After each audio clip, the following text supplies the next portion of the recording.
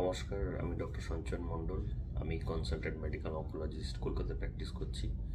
আজকে আমি যে টপিকটা নিয়ে আপনাদের আজকে জানাব ব্যবহার করব, সেটা হচ্ছে head and neck cancer head and neck cancer যেটাকে আমরা বাংলায় বলে থাকি মুখ ও গলার ক্যান্সার মুখ ও গলার ক্যান্সার আমাদের জেনারেলি চারটে স্টেজ হয়।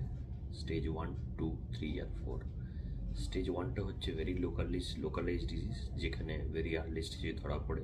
তাহলে সার্জারি করে জাস্ট রিসেকশন করে বার করে দিলে রোগটা কমপ্লিটলি কিওর হয়ে যায়। আর লোকালি অ্যাডভান্স স্টেজে যদি ধরা পড়ে, তাহলে সেক্ষেত্রে আমরা যেটা করি, সেটা হচ্ছে আইদার সার্জারি যেটা অপারেবল হয়, আর না হলে আমরা কেমো রেডিয়েশনের মাধ্যমে ট্রিটমেন্ট করি। আর যেটা লাস্ট স্টেজ স্টেজ ফোর সেটা হচ্ছে মেটাস্ট্যাটিক ডিজিজ সেটা যেটা করি, সেটা আমরা ইমিউনোথেরাপি কেমোথেরাপির কম্বিনেশন করে বা টার্গেটেড থেরাপি দিয়ে ট্রিটমেন্ট করি। হেড নেক ক্যান্সারের মোস্ট কমন কজ হচ্ছে টোবাকো কনজামশন তো আমাদের ওয়ার্ল্ড টোবাকো ডেটে এটাই বলার কারণ যে আপনারা টোবাকো খাবেন না। টোবাকো মানে any form of tobacco be এটা সিগারেট বিড়ি অথবা পান জর্দা gutkha তাম্বাকু any form of tobacco even the vaping device বা ইলেকট্রিক সিগারেট ই সিগারেট যেটাকে বলছি, সবকটাই কিন্তু সেম রকম দায়ী। তো সেই জন্য অ্যাভয়েড স্মোকিং টোবাকো খাবেন না। কারণ এই হেড অ্যান্ড নেক ক্যান্সার বা মুখ গলার ক্যান্সার আমাদের ইন্ডিয়াতে ছেলেদের ক্ষেত্রে নাম্বার ওয়ান পজিশনে থাকে।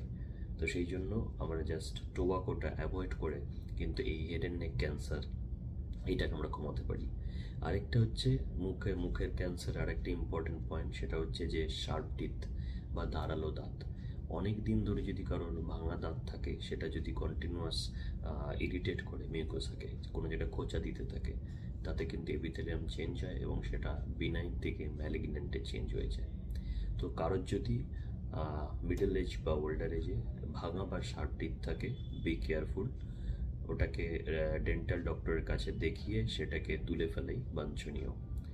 তাহলে আমরা এটাই আজকের বিষয় যে টোবাকো আপনারা সেবন করবেন না। Any form of tobacco gutkha তাম্বাকু, paan masala বিড়ি, সিগারেট ই সিগারেট সবকটাই সমানভাবে দায়ী এই হেড অ্যান্ড নেক ক্যান্সার বা মুখ আর গলার ক্যান্সারের জন্য।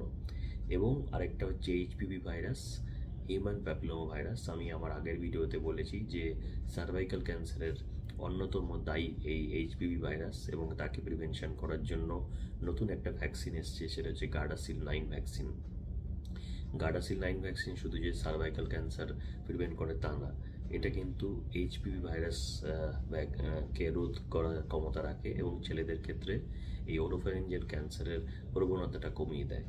তো both male and female both should get HPV virus vaccine that is Gardasil nine vaccine male and female নয় থেকে পঁয়তাল্লিশ বছরের সমস্ত নারী এবং পুরুষ নয় থেকে পঁয়তাল্লিশ বছর অবধি এরা কিন্তু গার্ডাসিল নাইন ভ্যাকসিনটা নিতে পারবেন এবং এইচপিভি ভাইরাসের আক্রমণ থেকে বাঁচতে পারবেন। তো আমাদের এই কটা পয়েন্ট ছিল আমার বলার, সেই জন্য আজকে রাখছি। ভালো থাকবেন, সুস্থ থাকবেন, আমার চ্যানেলে সাবস্ক্রাইব করবেন, আর যদি কোনো কমেন্ট থাকে, নিচে কমেন্ট বক্সে জানাবেন। আজকে এইটুকুনি